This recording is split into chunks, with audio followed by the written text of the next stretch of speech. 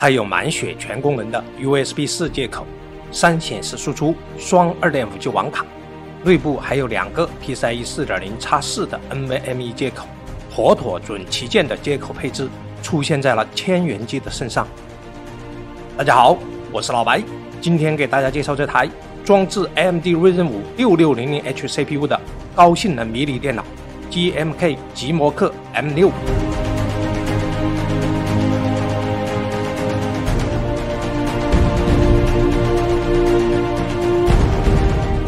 系统只要一千二百六十八元，十六 G 五幺二 G 只要一千七百六十八元，这可能是今年以来最超值的迷你电脑。千元入门的门槛已经来到了 MD 六千系，装置 MD 六千到八千系移动 CPU 的迷你电脑，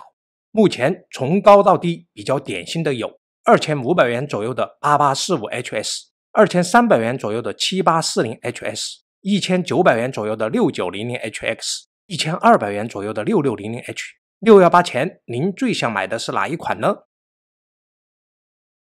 ？GMK M6 CPU 是 Ryzen 5六六零零 H 六核十二线程的标压移动 CPU，内置 AMD Radeon 六六零 M 核显，双通道 DDR5 内存，双 PCIe 四点零的 NVMe SSD，三屏显示输出，双二点五 G 网卡加 WiFi 六 E。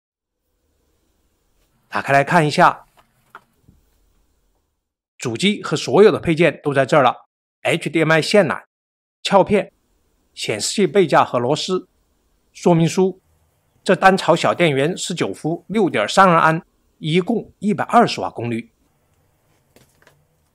小主机塑料机身是我们最熟悉的 GMK 经典外形。机身接口：前面板、电源开关键、耳麦接口、全功能 USB 四接口。双 USB 三点二 A 口，后面板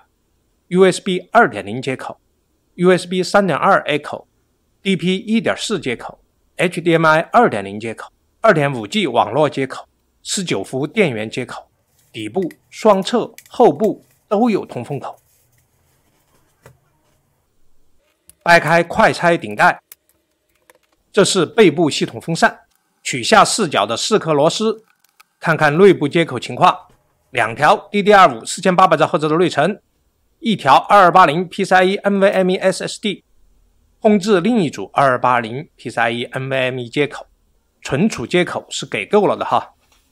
NVMe SSD 下面是无线网卡，iOS 里预设的是平衡模式，这里可以修改显存大小。稳定性是我们最关心的问题之一，我们打开 i 大六四。跑 FPU 单考的压力测试，CPU 一开始就下滑，跑在了五十瓦，整机功耗跑到了七十瓦左右，CPU 频率稳定在四点一 G 赫兹。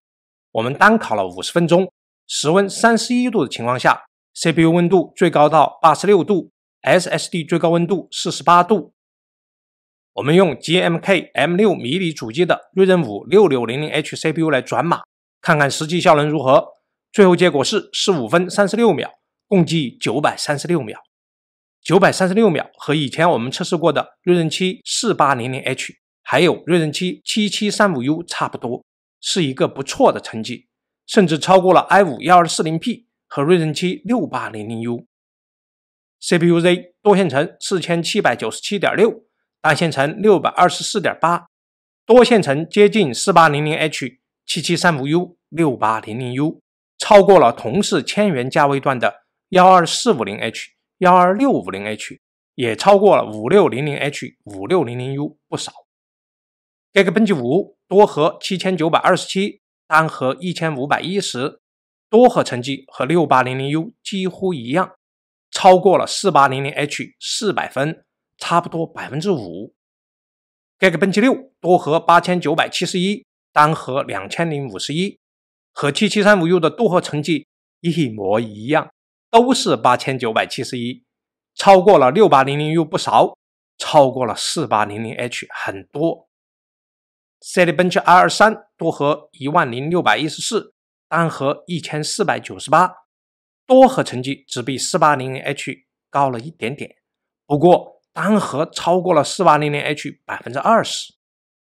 Passmark 多线程两万零八百九十一，单线程三千三百零一，多线程比四八零零 H 略微高一点。综合上面的比较，六和十二线程的锐刃五六六零零 H 完胜八和十六线程的锐刃七四八零零 H，主要靠的是更强悍的单核性能。六六零零 H 要比四八零零 H 的单核强上百分之二十以上。然后看娱乐大师总分一百零四万五千五百四十五，CPU 得分五十五万九千一百一十七。我们给锐刃五六六零零 H 运行 OpenW 测试，AES 七十一万一千九百六十五，叉叉二零三十九万六千零六十四，CoreMark 三十万九千三百四十八。在 CoreMark 成绩上，它超过了五八零零 H 和五六零零 H。我们来玩游戏《英雄联盟》幺零八零 P 中等画质，最后大团战平均一百一十帧左右。原神幺零八零 P 低画质跑满了接近六十帧。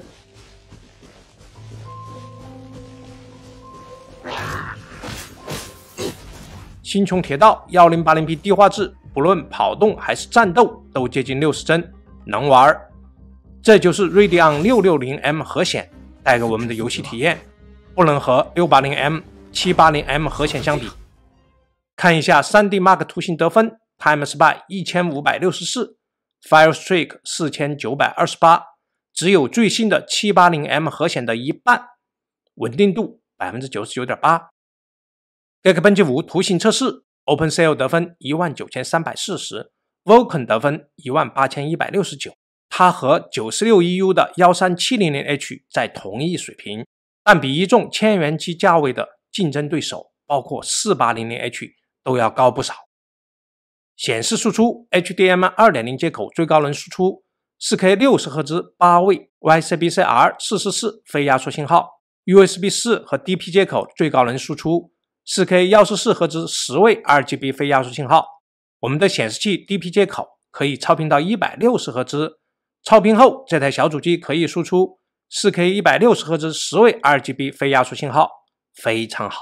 连接索尼 OLED 电视 HDMI 接口能输出。4K 60赫兹八位 YCbCr 444非压缩信号，Radeon 660M 核显视频解码能力，它能硬解本地 4K 60帧 AV1 视频，YouTube 4K 60帧 AV1 视频流畅播放。原厂硬盘测试3400兆 B 每秒，这配置的是一块 PCIe 3.0的 NVMe SSD。我们在第二 M.2 NVMe 接口上接入了一块4.0的 SSD。接近四千八百兆 B，这证明两个接口确实是 PCIe 四点零插四的。USB 四接口外接雷电三硬盘盒，三千一百兆 B，这是满血的 USB 四外接存储的性能。我们还测试了小主机 WiFi 网卡，这次是 RZ 六幺六 WiFi 六 E 网卡，跑到了八百四十兆 bps 以上，算是我的无线网络环境中很好的一类无线性能了。二点五 G 网卡，我们也使用了 iPad 三测试了内网性能，不论单线程上传下载还是多线程上传下载，都跑到了二点三七 G，跑满了带宽。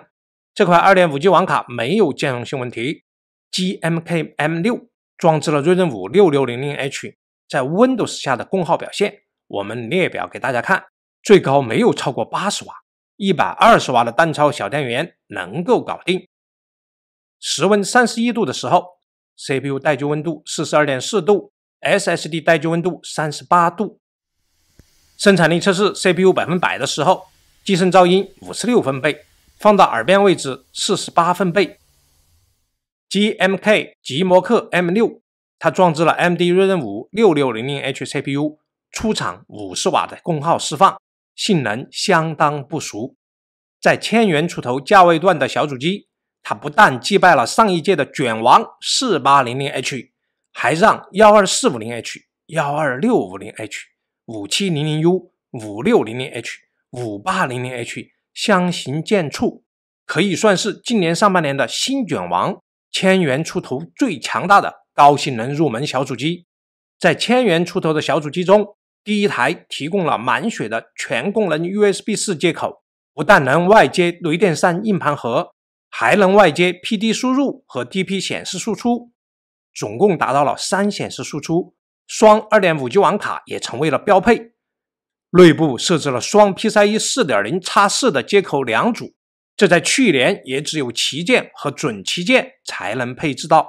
从接口兼容性来说，它已经是准旗舰的配置了。缺点还是我们对极摩克的老生常谈，HDMI 接口还是2.0的。我是很希望在千元入门机这个价位段，找到把 HDMI 接口做成满血2.1的小主机。因为英特尔从低到高都是二点零，咱是不抱希望的了。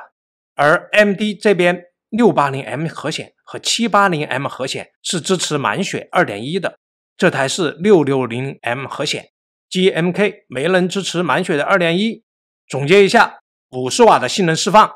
多线程性能完胜四八零零 H，荣登今年新卷王的宝座，散热优秀，静音真一般。满血全功能的 USB 四三显示输出双四点零的 NVMe 接口，接口兼容性完美。一千二百六十八元的准系统，十六 G 五幺二 G 的配置一千七百六十八元。这是一台二零二四年目前最超值的高性能迷你小主机，千元机最强性能，千元机最完美接口，还要啥自行车呢？目前我认为它最值得购买。同比幺二六五零 H 的小主机要多少钱啊？比这台只贵不便宜。推荐给所有需要第一台高性能迷你电脑的朋友，花最少的钱得到不俗的高性能和接近完美的接口。好了，今天就讲到这里了。我是老白，谢谢大家的观看，再见。